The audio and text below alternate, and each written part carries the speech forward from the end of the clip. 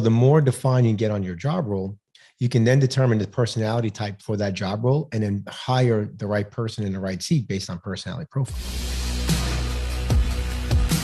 What's the number one secret to turning around your business from chaos to clarity? Yeah. So Brett, I, looked at like a lot of your listeners, their brokerages, you know, their um, insurance agencies. There's a lot of people owning small business, small to mid-sized business. And the number one, the number one key really is is team, right? Without the right team, you're you're not going to be able to step away from your business.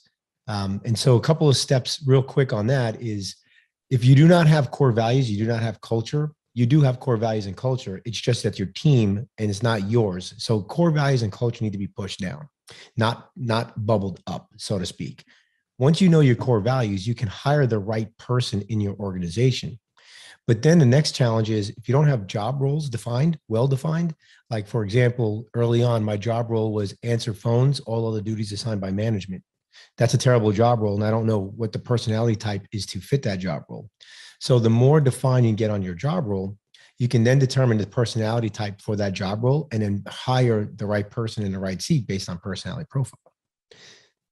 The last piece to hiring a great team is each job role in your organization should have a key performance indicator or a KPI. And they should each job role should have one to three KPIs. And uh, this is how they're rowing in the right direction. So how do you know that everybody? How do they know they're doing a good job if there's no scorecard, right? Uh, bef- back back when I took little league or or when when we played sports, they, they used to do this thing where they kept score. Not sure they do that these days, uh, but we keep scoring. The scorecard tells you if you're winning or losing.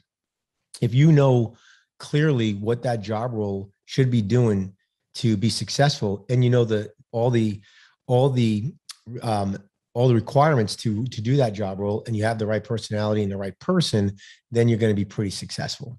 So that's kind of the first line of defense. The next okay, let me go through that real fast. So the number one secret is the team. It is all about the team, and the key mm-hmm. part of that is having core values and a culture that is led from leadership top down.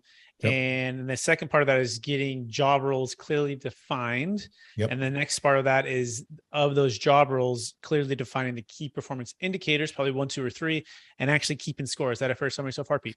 Yeah, so far, and uh, the last piece of that is hire by hire based on personality. So you hire you hire based on your core values, but put them in the right seat based on personality. Um, there's a lot of different personality profile exams out there or tests, uh, if you will. I like DISC; it's super simple, and um, you know if you want to Google DISC, you can learn a little bit about it. And uh, so hire the right person, put them in the right seat, make sure they know what they're doing, keep score. That's that's the first that's the first line of defense of getting your um, of getting the right team in play. Okay, that makes sense.